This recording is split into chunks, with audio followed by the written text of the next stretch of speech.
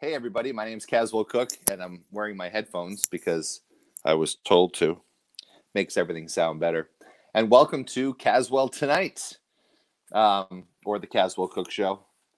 Either one. I know we got rid of Ask Caswell. Um, so, this is a show where we come on live. We're live. We're here in Westerly, Rhode Island, which is where we're broadcasting from. And we're on several different platforms tonight.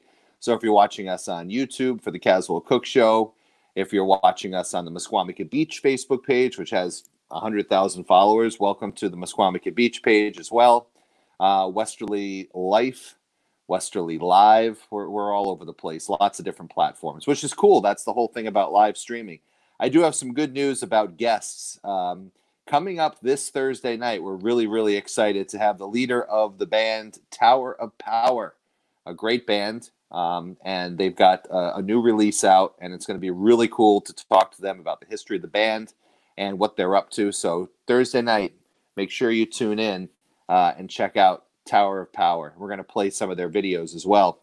And then next week, we definitely have confirmation, Ben, that uh, next Tuesday, uh, Grammy Award winner, producer, um, discoverer of James Taylor, uh, vice president of Apple Records, one half of Peter and Gordon the legendary Peter Asher is going to be with us on Tuesday night to uh, to discuss a lot of stuff, including his show on Sirius XM from me to you. And then on Wednesday night, we have a great musician. His name is John York. And in 1968, he joined a little band called the Byrds. Um, and so he's got some great, uh, in fact, it was a great album put out a few years back. It was released, but it was the Byrds live at the Fillmore, which is awesome. So we're going to have a chance to, to talk to John York from the Byrds next week and ask him all the questions about that band, and of course, all the people he's played with since.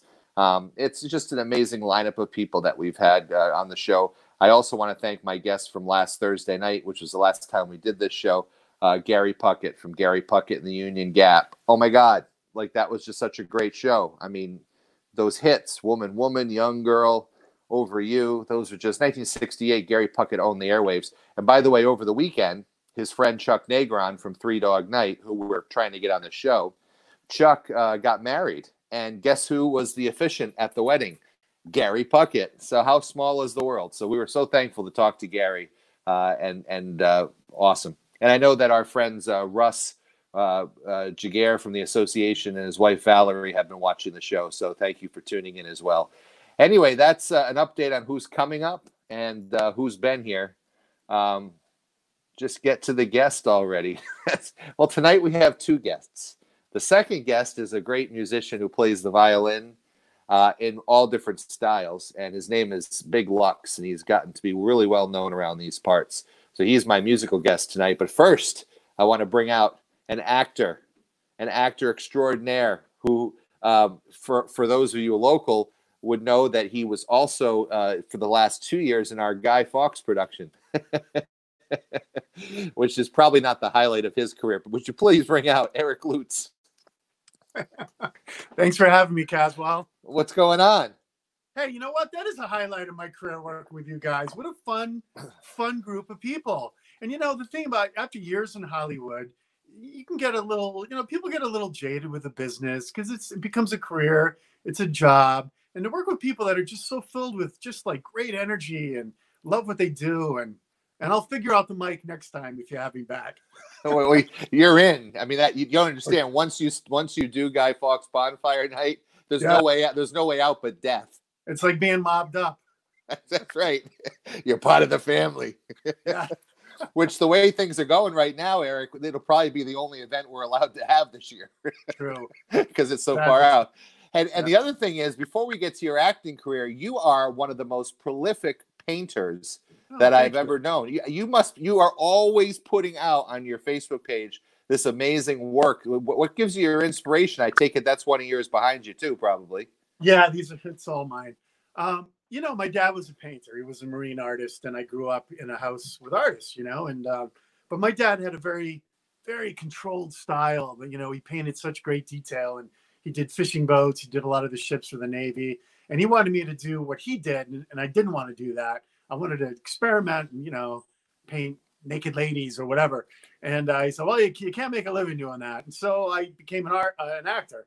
I rebelled, and then always painted. In fact, I I would get kind of reprimanded sometimes for getting paint and stuff on my uh, wardrobe on different shows I was on because I would always bring art supplies with me because I had to do it. So I started doing that more and more and started selling and started getting in galleries. And then, you know, I'm living in LA and most of my subject matter that I, I sell anyway is marine art based in New England.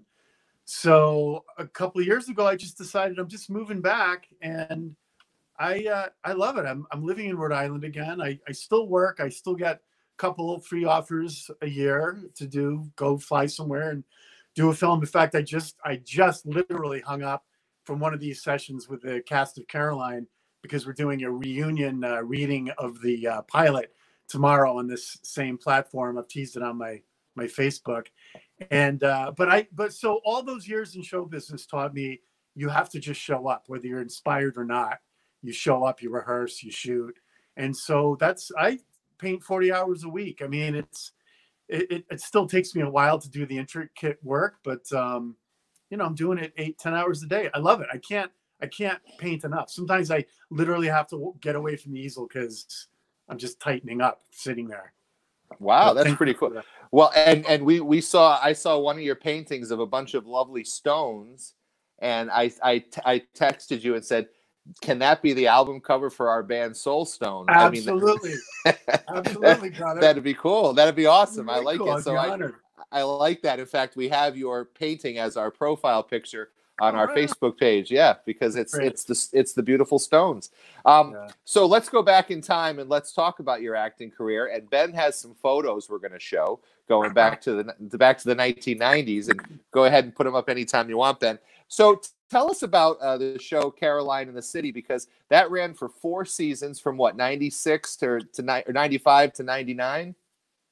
Uh yeah, to 2000 actually. And to 2000 and it was syndicated for 11 years. So on network TV, it was just on all the time. There you and, are with Mrs. McFly. There we are. Yeah.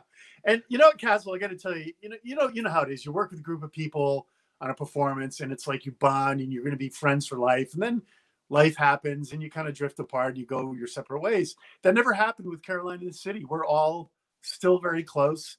Andy Lauer, in particular, directs a lot, and he's used all of us at one time or another in films he's worked on. Lea's directing too. She's brought on a bunch of us for jobs, and we just we're just really tight. Every couple years, we always have a reunion dinner.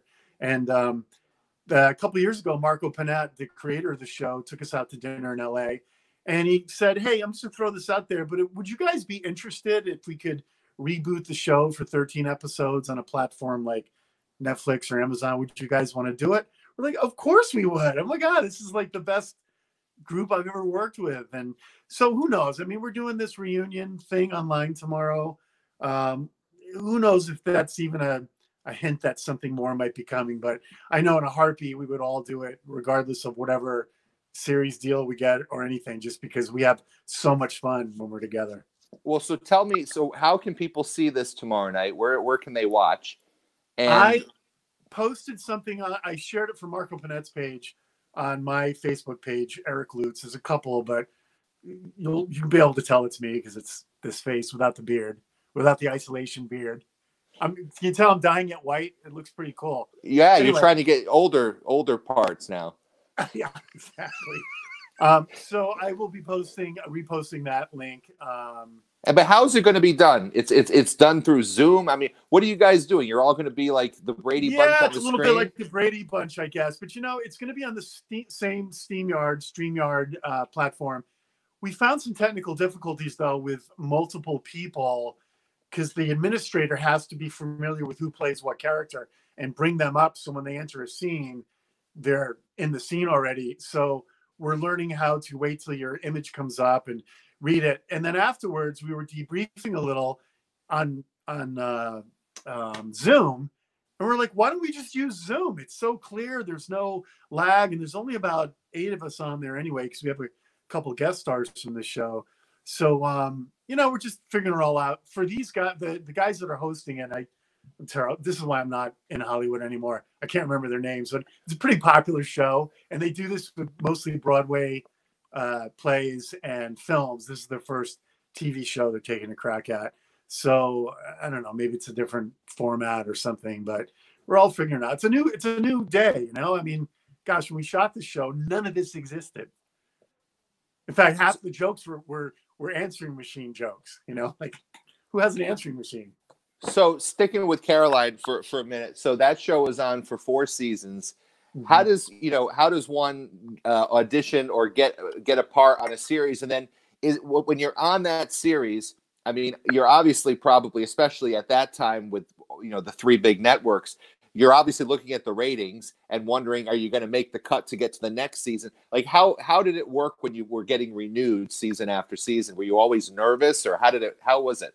Look, man, I I put myself through college painting houses and doing construction work, so just to be on a show for a couple episodes, I was good. So I never worried too much about. I, Tom LaGrua, who played Remo, the restaurateur, um, he had, he was you know been around and he had been on a bunch of shows. He said, "Look, the show's getting canceled." Oh, what? It's getting canceled? Yeah, it's going to get canceled someday. Whether it's tomorrow or whether it's 12 years from now, the show will get canceled. So just enjoy it while you're here. And we did. And but you know, it'd be. I remember after episode nine, we got, um, or maybe it was earlier than that, but we got our first order of nine episodes, and then we got the back 13, and they made a big announcement maybe episode six or seven. And uh, I was so new to it. I mean, I had just been in LA under a year and I hit because I got this great part on Frasier. I was just in the right place at the right time. And I was the new kid from New York who, you know, I've been doing plays and soaps and independent films and commercials and stuff and reading for stuff for LA. So they, they already knew my work. So I was encouraged to just move to LA so I could start getting guest star work and then, you know, try to get a pilot. And I happened to just get that part in Frasier because Jeff Greenberg, the casting director, had seen me in a bunch of other things, liked my work, brought me in. One thing led to another. I got it. I was under the microscope for a week. It was nerve wracking as hell because they they replace people like that in sitcoms, especially popular sitcoms. You know, like the night before you shoot, sometimes even because they don't direct you like you think. They're not like, oh, you need to do it more like this. You got to do it the way you did it in the audition because that's what they want. And they, you know, so anyway, um, I knew that I was under the under the microscope, and this was the week that the Emmys were happening. So they shoot on a Tuesday night. So Friday night is their network run through, where if you'll excuse my French, there's an actual term for the network guys. They're called the network assholes. That's literally their title, right? They'll refer to themselves to that. We're also I think I think as, David David Letterman would agree with you, right? Yeah, yeah. But we're, we're the meat puppets, so you know it, it, we get we get it too. And um, so we were going into this network rehearsal, and I knew that I needed it to nail it because I knew that half the producers thought I was a little too young for the role, and the other half were like, "No, he's he's he's got it. Trust him, you know, whatever." So anyway, we do the run through. All I can do is just just act my part. Just go to the acting. Don't think about anything else. And after we, in fact, right before the run through, I heard David Lee, the director, tell the wardrobe head of wardrobe just don't tailor his suits yet till we hear from network. so so I had to go to rehearsal thinking that. I did it. I, I, just did what I did. And after that, David Hyde Pierce came up to me, gave me a big hug. See you Monday, Peri Gilpin. See you Monday. And that I went home. In fact, I didn't. I just moved to LA. I didn't even have my own house yet. I was renting a house sitting for a friend in the hills. And I remember sitting in the pool, looking out over the valley, my feet in the water. I was drinking a cold beer, and thought, man, I thought sitcoms were supposed to be like happy clappy, three jokes a page, and this is like hard work. And and then that Sunday, I'm watching them all on the Emmys get their awards, you know. And then they come in Monday, and everyone's like all frazzled. And we got to it, we shot it, and then it aired within two weeks. I was already in Texas working on another show, and got back to my hotel, and my phone blew up. People wanting to, you know, agents that want to meet me, and it was just crazy. It totally put me on the map, and that queued me up for Caroline because there's a lot of uh, crossover with writers and relationships there. So I got Caroline in the city. I got I had three shows to pick, and I picked Caroline, and it was no looking Good back. Choice. I was listen. This this you know this was I always say it was a 15 year overnight success because I've been at it in New York for 15 years, just pounding the pavement, taking everything I could, and just I kept showing up. You know do people start like once you get on a show like that? What network was that on? NBC. NBC. So once you're on a huge network like NBC and you're on every week, do, do you start to notice that when you're in a restaurant, people like, hey, is that the guy? Do you, did it you was start insane, getting that? casual because I grew up in Charlestown, right? Yeah. And you know, if people look at you and whisper, it's because you know you did some stupid move, or you know, oh, there's that Lutes kid, a, a solid C student, you know, whatever. And so it was weird at first, and then it got to be where literally it, it would be I'd come home to visit, and I'd go out to Newport and be having dinner somewhere, and like people would come up and want an autograph or pictures, and it was it was fun. I never hated it, but it, it got weird a few times, but it was crazy, right? And then and then it goes away. And at first Yeah. it was you're like, oh crap, what happened? But I always had my art, and I always had a sense of again, the show's going to get canceled someday. My career's going to slow down someday, and I always knew I wanted to return to Rhode Island anyway. So I, I did two years ago. I teach at URI from time to time. I do workshops. I took my early Screen Actors Guild pension, and I'm selling paintings. I mean, I it's the best, and I love to be able to be in G Studio at URI, talking to kids that are just filled with hope and telling them in no uncertain terms, if I can do it, you can do it. I used to sit in those same crummy chairs and listen to the the acting teachers, you know, and and I'm telling you, I'm I've been there, I've done it. Like they'll they're blown away at like you know how you can casually say, oh, someone I was working with so and so, you know, like what you work with Zach and Cody, you know, because a lot of people they don't know, you know. Speaking of, now Ben's got another photo we're going to put up on the screen Okay. to get to get your take on that. Uh, and these are uh, two actresses that everyone in the world knows. Tell us about them. they look familiar. Excuse me.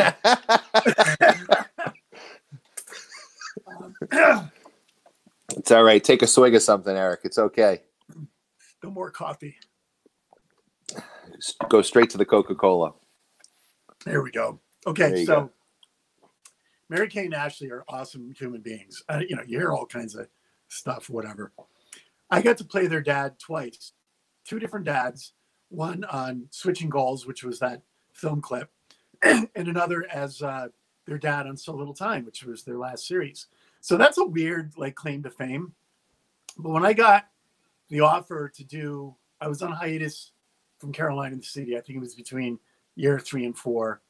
And my agent called and uh, Steve Lamont said, Hey, Lutes, I got a script here for you. Shoots in Toronto, four weeks. You want to work with Mary Kate and Ashley? Who's that? He's like, All right, your kids are too little. They're, had babies at the time. They didn't get Full House. Oh, they didn't, you know. So I said, Yeah, I, you know, I don't know. I guess let me read the script. Okay, well, you know, it shoots in Toronto and it pays this much money. I said, I send the script over, but just in the meantime, say yes. Because you know, they're, they're very generous. They paid a good quote because I could command that back in the day, you know. And uh and but they were great. It was so much fun to work with them, and it it was a whole new uh demographic, I guess, you know, and um it was a lot So- of so- lot of fun. Tell tell us why they didn't why they didn't agree to do Fuller House, the, the new series that Stamos, you know, the, it just got just ended, but it did five seasons on Netflix. My kids love Fuller House, but they're like, "Where's the little girl?" Yeah, I don't want to speak out of turn, but I will. I don't think either one of them really loved acting. I know Mary Kate in particular was like, so when they turned here, okay, so here's another crazy Hollywood story. They turned 18 when we were doing so little time. Now we had an open-ended pickup from the network, which is unheard of. You keep making shows, we'll keep airing them. None of this, oh, you get your first nine, you're back 13. It was just wide open. So they turn 18, we take a hiatus so the writers could create new shows. And I'm like, ah, they don't take a hiatus for no reason. The writers have, we get four week, you know, every fourth week you have off so the writers can keep up. So I thought that was weird. And so it was, it was lagging on. It was like in a week two. And I called my agent and said, can you get an answer? And so finally he said, yeah, talk to their producers. They said, you'll have your answer tomorrow at nine in the morning. Okay. Nine in the morning, Variety comes out. Olsen twins pulled the plug in their show. And that's how you find out. Like that, that's the last I ever saw them. There- so there's not like, it's not like I can, hey, Mary Kate and Ashley, what's up? Let's It's dad. dinner." You know what I mean? I'm not really their dad. It's not really, I mean, yeah, if I saw them somewhere, I'd, I'd go give them a hug, we'd talk or whatever. But that's the part of show business that just, quite frankly, it sucks. You know, it's just, uh, it's it's demoralizing in a lot of ways. And um, But you're Yeah. still close to Lea Thompson, and she is the bomb. They're- she is the bomb. I got to tell you, Leah, Amy, Malcolm, Andy, Andy Lauer, in fact, comes out a couple times a year, and we teach acting workshops at the Courthouse Center for the Arts, specifically on camera acting, because there's a lot of production here, but a lot of the actors are stage actors, like I was, like Andy was, and it's hard to interior, you know, internalize it and bring your acting technique in. So we do these acting workshops for people, and they're fun. One more question here because uh, we have actually we have two guests tonight. Can you believe it? We have you and we have Big Lux who's going to play some instruments for us. What I wanted to ask you about was memorizing lines because you know I just don't I can't imagine getting a new script all the time. And No. uh, how much of it has to be exact and how much of it is it more all right, this is the idea of the scene and I just go. It depends on the show. If you're working on an Aaron Sorkin show, like you know West Wing or whatever, you can't even abbreviate a word. You have to say "are not." If it says "are not," you can't say "aren't." It has to be that. On a sitcom, especially when you're one of the series regulars and you've been doing it for a while, they give you latitude. They want you to nail that joke, and maybe if you can rephrase it, you can get away with that. I always say, and I teach this to my students, you know, the writers have egos too. Everybody has an ego. Honor the writer's work you know, and absolutely give it to them exactly as it's written the first time. And then you can go back to take two and maybe change it a little bit, you know, if it's multi-camera. Um, so on Caroline, they, you know, they would sometimes even, and they, shot on film. This was also to date so it wasn't like the digital stuff. So that's expensive. And they would literally keep the cameras rolling and they'd say, hold on, we got a better joke. And the writers run up to you and they're all pitching these different punchlines and they're like, okay, we got to go. We're on a bell. Let's go which one do I do? Pick one. And you, you know, you just hearing it in your head, you just throw it out there, you know. And uh, but I love that. I love the spontaneity of it, uh, kind of shooting from the hip. Well, that's the great thing about Guy Fawkes is we just give you the script and you don't have to memorize it. Yes, it was, it was very familiar. I was literally like, oh my god, I'm back in a sitcom. now tell me when you were you, so you said you did some soap opera work. What what did you do? I was Mr. Pressman, the Valley Inn manager on All My Children. So tell now you see like how, I, first of all I don't know a lot about soaps, but they show like people making soaps and like they've got the words on a screen. Uh, Is that true or do you have Uh, to It memorize? used to be back in the '80s when I was, you know, just starting out and getting really small parts. It's really expensive, and now, so right before I moved back, I did two episodes of As the World Turns, oh, right, and I got to work with um, Deidre Hall. Deidre Hall.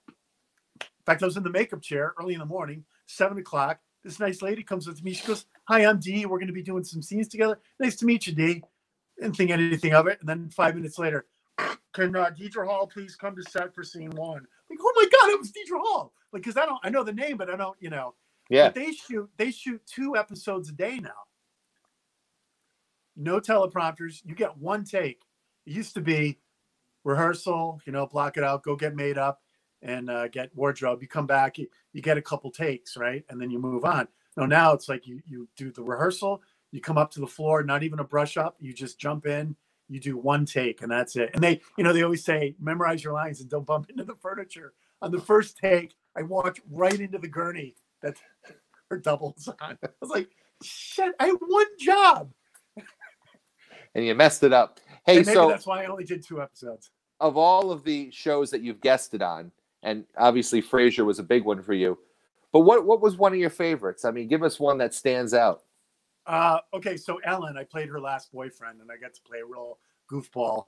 But also, I a few years ago got to play on How to Get Away with Murder with fellow Rhode Islander Viola Davis, who couldn't be cooler. She's so cool. She's such a, you know, professional and just has that attitude that I like to work with, where she knows her stuff, she delivers it, but then doesn't take it too seriously. So in between takes, you can be normal and not have to be like just filled with all this angst and everything. She can just turn it on and go.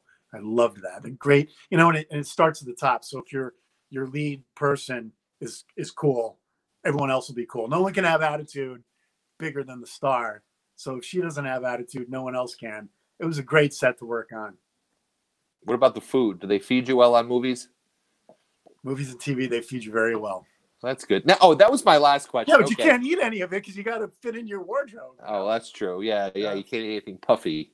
Yeah. Now, uh, well, two more questions actually, because I, when you were doing a, a show like Caroline, do you get paid well, or is it like if you came into it already as a huge name, you would get paid more probably? I mean, how does that work for? yeah, your quote would be higher then. Um, part of our problem was we were a CBS production bought by NBC because Les Moonves passed on us. So then the option was open. NBC picked us up.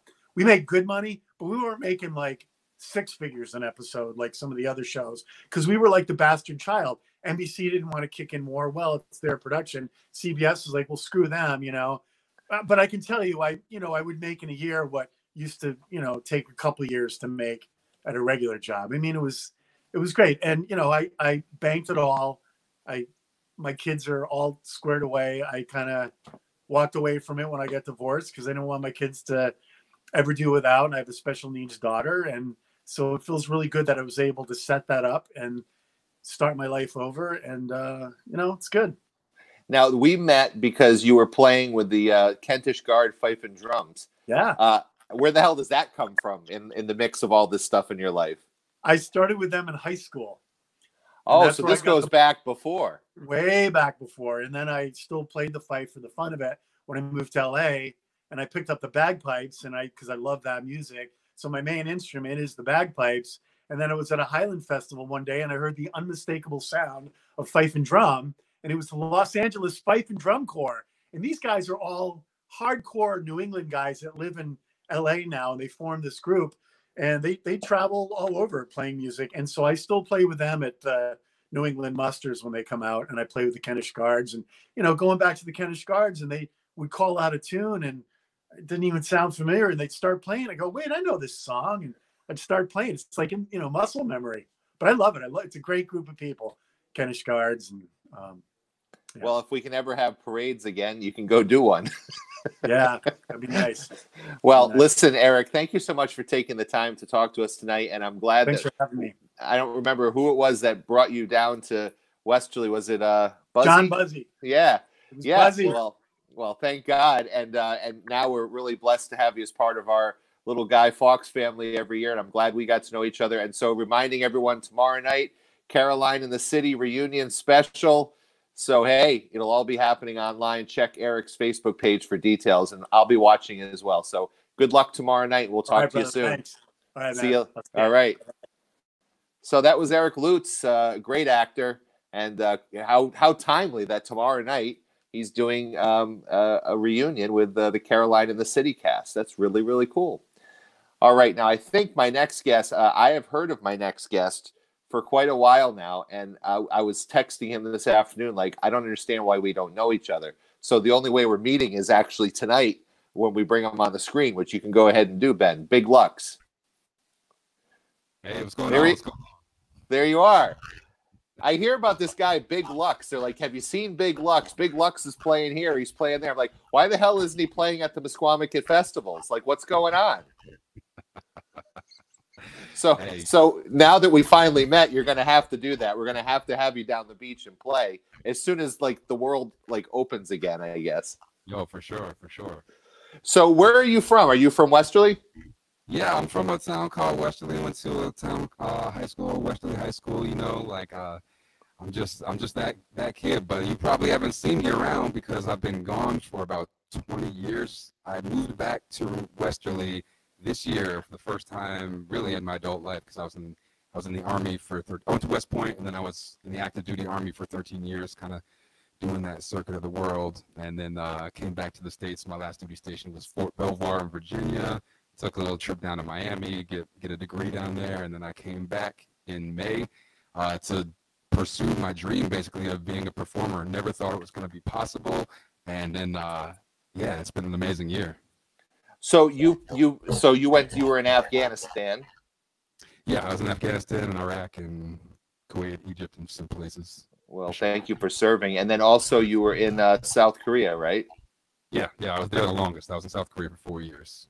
Wow. What's that like there? I mean, were you near the DMZ and everything? Is that what you're Yeah, so South Korea was was amazing. I mean, um, it was it was probably one. It was almost there were times in South Korea was like more stressful than being in like act, active war zones like in, a, in a Iraq or Afghanistan or something like that. I was near the DMZ for two years. Um, I was basically doing tactical things. I was the company commander. I was in charge of about 170 combat engineers, and it was our job to work on the fortifications, uh, you know, minefields, uh, barriers, you know, and to be able to breach through the DMZ, if it came to that, we would have to like um, be the first ones to go through and to, to break their barriers. Um, yeah, so it was just fascinating to have to go through that tactical exercise and be ready to go for that all the time. I was there when uh, Kim Jong Il died, and we found out about it on CNN, and we were like, "Oh, this is not going to be good." like, it was uh, it was a different time. It was interesting. Well, I would say that this past weekend, my uh, wife cut my hair, and uh, she, she shaved the side, and she said that I've got the Kim Jong Un haircut now. I don't know. I think you need a little bit more grease. I think you need a little bit more grease in there to make that thing work. You gotta split that thing back. Yeah, I guess I don't look like him. So, so tell us about the music. Okay, so how do you mix hip hop with violin? I mean, explain explain yourself, man. Like, how, how what is your style of music? Like, where does it come from? It's everything. I mean, I live. I'm really fortunate that I live in a time where, man, you can just see so many different artists and what they are doing. And, you know, I started to see around like uh, America, the show America's Got Talent. Uh, like the second season of that show um, was on when I was in Germany, actually. So I think it was like, you know, around 2007, 2008. I started to see there these two, uh, there were these two brothers who went to Juilliard, and they were playing over hip hop beats it. And that was like the first time I was really exposed to it. Like, wow, you can be a main act as a violinist over over hip hop and you can make that work. But then you start thinking, you're like, wait a minute, I've been hearing violin in hip hop music my whole life. Um, I'm also like a jazz head. I was in the Westerly High School Jazz Band. I play saxophone, and you know, there's so much that hip hop borrows from jazz and the improvisation and tradition. And so, like, for me to just fuse those kind of music styles together, um, it, it, felt kind of natural, honestly. And uh, being in Korea, where I really kind of got my start, it was amazing because Koreans are great listeners of music. They will listen to anything. They'll give anything a chance. And so I would just bring my little my little amp out into the street and I would just play hip hop beats and I would just like start playing violin over it and just see what stuck and what worked. And you know, I'd have a crowd of like 20 or 30 people out there, like throwing money at me, throwing like drinks at me, whatever. I have a great time and it was like my laboratory. So um, yeah, it was just I really owe my experience in the army and going around the world to help me develop my craft. But uh, I learned a lot of the tools right here in Westerly.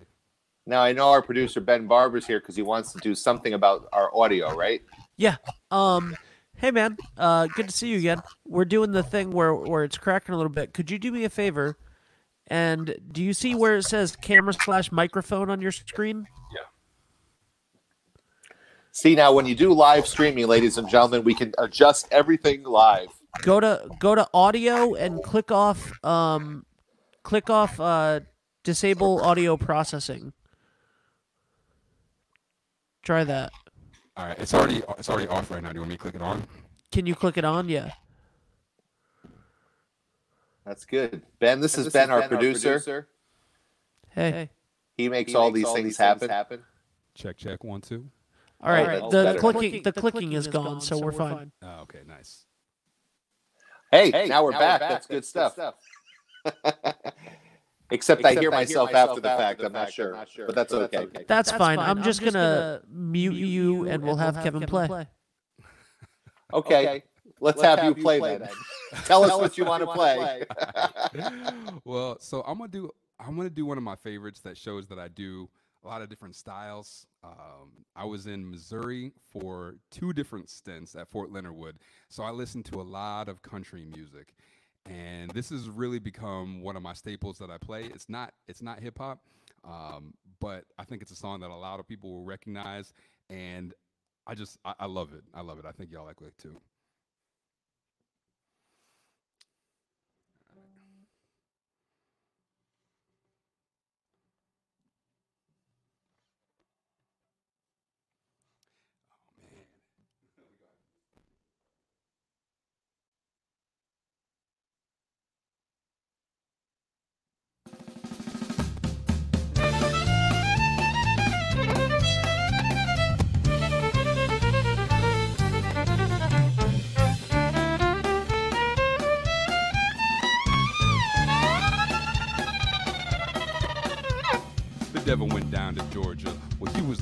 A soul to steal. He was in a bind, he was way behind, he was willing to make a deal. When he came across this young boy sawing on a fiddle and playing it hot. So he jumped right up on Hickory Stump and said, Boy, let me tell you what. Maybe you didn't know it, but I'm a fiddle player too. And if you care to take a dare, I'll make a bet with you. Now you play a pretty good fiddle, boy, but give the devil his due. I bet a fiddle of gold against your soul that says I'm better than you. The boy said, My name's Big Lux, and it might be a sin, but I'm gonna take your bet. You're gonna regret, cause I'm the best it's ever been. He said, Big Lux, rising up your bow and play that fiddle hard. All hell broke loose in Georgia, and the devil has the cards. And if you win, you're gonna get this fiddle made of gold. But if you lose, the devil gets your soul.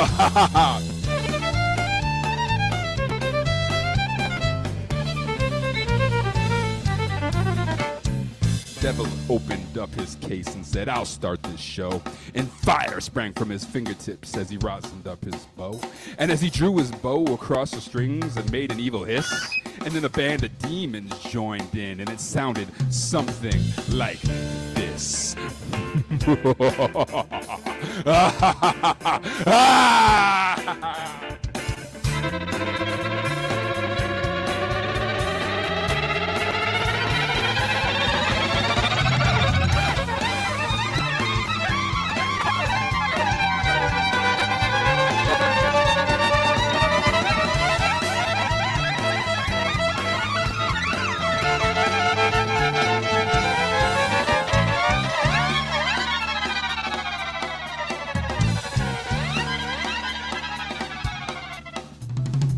devil finished playing. Lux said, That's pretty good, old son. Why don't you sit right there in that here shit? Ha! Let me show you how it's done. He said, Fire in the mountain, run shall run. The devil's in the house of the rising sun. Chicken in the bread pan, picking out duh. Granny does her dog bite, no child, no.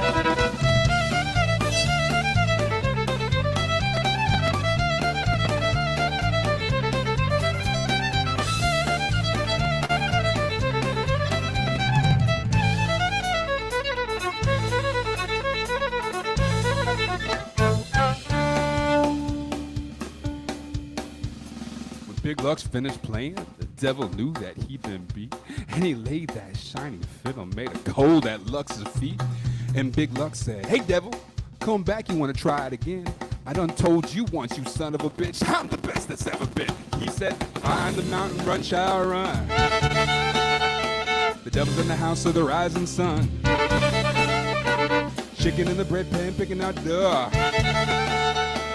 Granny does her dog bite, no child,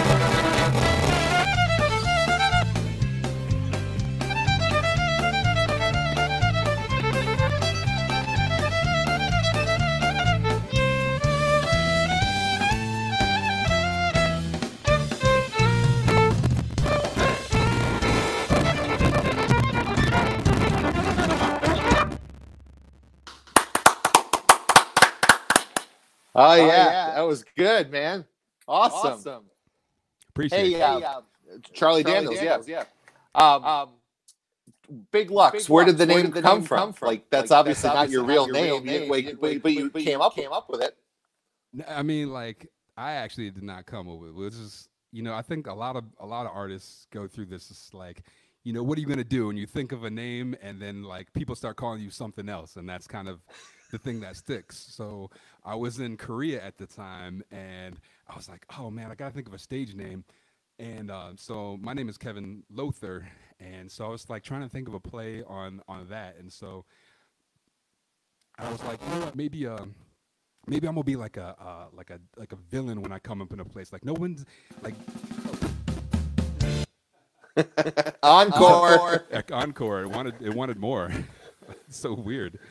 Um, anyway, it was like at the end of the playlist. I don't know what happened, but so yeah, it's like I wanted to be this villain. It's like violent players are always like the nice guy, you know. You never go. I want to be that guy who came up at your venue was like kicking over chairs, you know, whatever, walking down the bar, like with you know, kick over a drink if you ain't watching, you're not watching, whatever. I realized I didn't really have that in my spirit. I had the energy to do it, but I just couldn't be a jerk like that. So like I was gonna be like Lux Luthor, the uh, you know, have like the Superman villain, and um, Lux was just it was just like a name in Korea. They use just English very differently, and there's just some words that they use way more than we use. And Lux was just one of those words. Like anything that was good was like Lux in Korea. Like they just every, it was just everywhere. So I was like, all right, let me do that. I'll be Lux Luthor and uh, but I'm also in Korea, and Koreans do not pronounce uh, L's very L's and R's very well because it's just not in their alphabet. So like I was just like promoters would be like, "What are you doing to yourself, bro? Like this is not what happened." So one promoter he didn't even tell me. He just called me big, he just called me Big Lux and he just put it in a poster and that was it. and after that I was just Big Lux and I was like, "You know what? All right, that's cool." And it's bec- really come to mean, you know, you can have something that's both like strong and fancy at the same time. So you got this big guy playing like this little little violin. So you know that's how I take it. I like, I it. like well, it. hey, Well, hey, do you want to play this play one this more? Are you more? set up to play one more? Yeah, yeah, I'm set up to play one more. All right. Well, let's have you play another one for us. All right, cool, cool. All right, so I'm gonna play an original now. It's kind of in the same vein as uh, uh, as that uh, Charlie Daniels Devil went down to Georgia. Um, but I want to kind of take show you what I took with that spirit and when I put my hip hop over it with the violin, what it's actually all about. So we're gonna we're gonna get busy here. All right.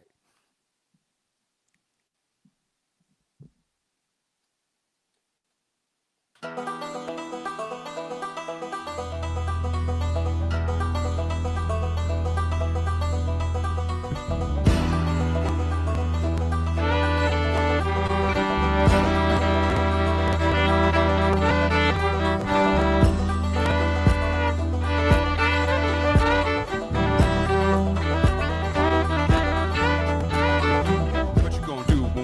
up bluegrass? You throw shade at my cruise, you be showing your hoe. You got the backwards metal card, I ass up, you step on the wrong toes, you get what you paid for. I never raised stock, it didn't know bar I'm but I won't protect my plot. You find out in a hurry. My beats drip like the old man's fiddle, going straight to your ear with the sound of the fiddle.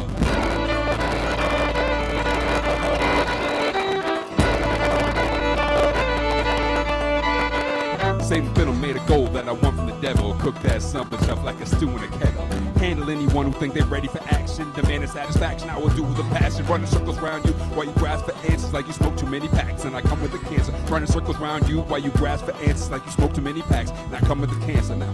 Never covet what another man has. Two sides of the fence both have the same grass. Can't help it if your girl keeps looking. Rumor downtown, that's some good home cooking. Ha! Do you want that action? Yo, look on your face says no. I'm right over here. I'm ready to go. It's like, ha! Do you want that action? Well, I thought you should know. I settle my scores with the strings. And a ball, and you don't want that action. Come on, man. I'm gonna be on the dance floor getting it. Ah.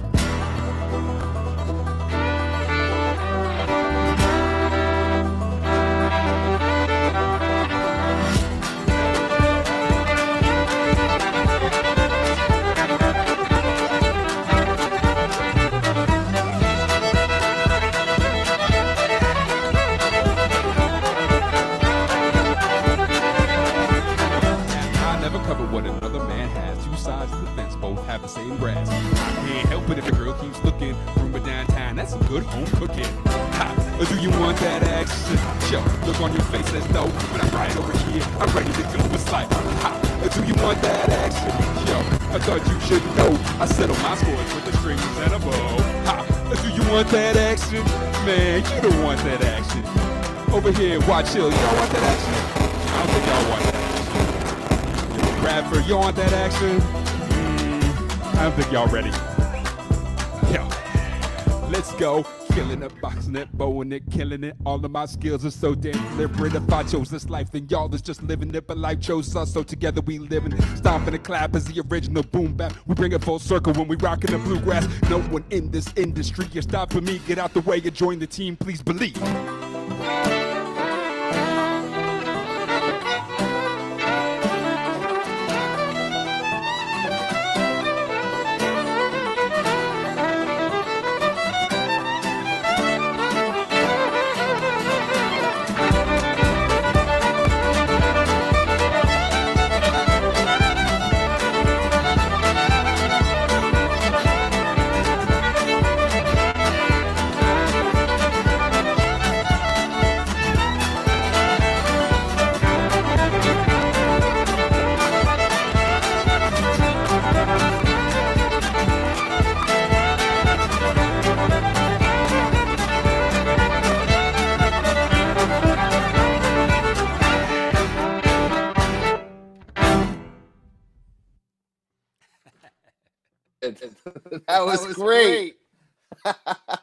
That was so good. You like blend everything. It's so cool. yeah, oh, thank you, thank you. I try to do Well, my best. There's no excuse now. We got to make sure we have you at the next Misquamicut Festival if you don't mind playing for us, because that's just, great, stuff. I appreciate you. I appreciate you. Well, Well, hey, hey- listen, thank you for taking the time to play tonight with us. And I'm glad I got to meet you, even though it was only virtually. But now I'm going to come see you when you get to go out and play again. My, my final question to you is what the heck are you doing during this whole quarantine process? I mean, you've obviously had to put gigs off. Is that like, it's got to be hard to not be able to go out and play? Yeah, I mean, we had so many good gigs uh, that were lined up. I mean, I was going to be headlining at the Knickerbocker in April. We had the opening of the New England Hall of Mu- Music, New England Music Hall of Fame at the Phoenix in Pawcatuck. I was supposed to be playing the national anthem for that induction ceremony. Um, you know, I'll be missing Patty's gigs. I'll be missing, you know, Tapped Apple. And today is the ninth anniversary of the Malted Barley. I was supposed to be playing there tonight. Um, so so many great shows. Uh, it's a little bit disappointing uh, to be working so hard this year and then have built something and then you know kind of see it dissipate. But we're having a, we're having a good traction doing some online shows. Um, I stream three times a week. Uh, I've been trying to use it to keep myself motivated and try to get myself on a schedule because right now you know quarantine time everybody doesn't even know what month it is so I know. I know. like Wednesdays, I try to stream a workout at noon. That usually try to make that fun. Um, Thursdays, I play either classical or jazz at noon, and then Saturdays, 8 p.m. I, uh, you know, I try to stream from different businesses, highlight those businesses. A lot of times, I am I'm performing with Sarah Thompson, who is an amazing singer. We've been doing a lot of stuff together, um, so we'll be we'll be performing together this Saturday as well. Uh, so hopefully, I see you all out there. It's on my Facebook page, which is Big Lux Violin, Facebook and uh, and Instagram. Awesome. Awesome. Well, Big Lux, thank you so much for taking the time to be with us tonight. And we will obviously be seeing you soon. All right, thanks for having me, Caswell. Take You care. got You it. got See it. you See you later. All right. That was Big Lux. I'm sorry we had a little bit of audio issues going on there, but even with the little bit of crackling and stuff, you can see this guy's talent. It's great. I've been told about him for so long, and I don't know. Like that's why I said to him today, I'm like, why don't we know each other? Like you, we're both here in this town, and I do entertainment. Why don't I know you? And then Ben's So- like, you don't know him? So, sorry, man. Sorry. feel- Oh, you I- know what? I feel responsible for not telling you about him. Oh, I thought you Yeah. meant because it was crackling. I was like, Oh no, that be- wasn't no, that wasn't my fault. I'm not I'm not apologizing for that. I had nothing I, I had nothing to do with that. How Uh, long have you known about Big Lux? So he is good friends with Mike Chicoria. Right. Um and uh so he sat in when he was before he moved back here um several years ago like 5 years ago or more he came up for the weekend and he sat in with Happy in the Moonshine at the Malted Barley. And um that was incredible because it was you know so you had Mike just raging on the piano and Dave singing and uh Big Lux um just doing what he does and he's incredible at it. And that was a really nice thing to to do together. And then he uh he shared a bill with um with Dave last year I think at Perks uh where they kind of took turns playing on and off and um so yeah he's a he's a he's a great dude he's as great of a you know he's probably a better guy than he is a musician and he's an incredible musician so um yeah he's he's awesome Well, that's good. I'm glad he got to be on today. Tomorrow night, we're going to have a guy named Dan Leese who's coming on. And then Wednesday night, I'm really thrilled that uh, an old college friend of mine, April Pucciata, who does this, uh, has this company called Beyond Om. Uh, and she like does yoga retreats all over the world. I get so envious. She's like in Cuba, Spain, and she does people come from all over the world to take her yoga classes. But Oh, her and I used to live. Uh, her and I used to live in uh, London together, not in the same flat, but we were in the same. We were on the same program, and uh, we had a great time. And that was in 1995, which I can't believe that it's been 25 years since I. We both lived there and worked there for a semester, and we never lost touch since then. And so um, she's going to be uh, a guest on the show Wednesday, and then Thursday night we're really fortunate to have uh, Carlos from um, Tower of Power, which is like an amazingly great band, horn band. Uh, they've been around for a long, long, long time through many different incarnations and lineups, but they have some new stuff that we're going to be playing some of their new videos, which will be cool. And then, as you heard me say, we do have confirmation that Peter Asher will be on a week from tomorrow. We'll see. that's the biggest. That's my biggest guest in a long time is Peter Asher, just because his resume is longer than um, most people's books. By the way, I just want to point this out because he got a lot of information wrong. Um, Caroline in the City reunion special tomorrow night. Stars in the House on YouTube. Just Google Stars in the House. It is the that show is the reason why this show exists. Um, it is Seth Rudetsky uh, and his husband who is uh, there. Uh, they do Broadway shows and they have um, they have Broadway actors on. The whole thing is a benefit for the Actors Fund, which uh, which goes to help pay for anybody that's involved in the performing arts behind the scenes in front of the scenes um, when when you know because there's the the top level actors like uh, like Eric who I can't believe you asked about money um, and and uh, but then there's you know like the the extras in in shows and stuff that are members of SAG and and uh, and equity and on Broadway and stuff and all of the all of the stagehands and everything all of those people that are really affected by things like this so these shows every single day twice a day on Stars in the House um, if you're fans of Broadway Frasier they did a Frasier reunion on there um, so it's a it's a really cool deal and uh, it'll be. Fun. You got to understand. You got to understand how I met Eric.